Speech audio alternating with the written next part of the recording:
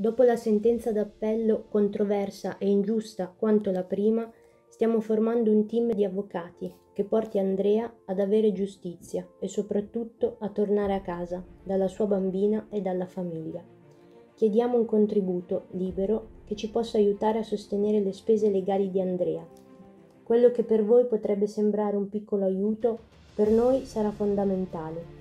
Aiutateci a ridare la vita ad Andrea che da quasi tre anni sta vivendo un incubo ed è stato accusato senza alcuna certezza e solo sulla base di supposizioni.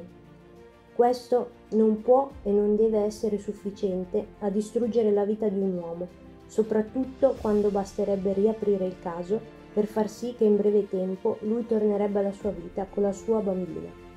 Aiutiamo Andrea, basta poco per ridare speranza ad un papà che vive nel terrore di non poter crescere sua figlia soprattutto perché è innocente. Grazie.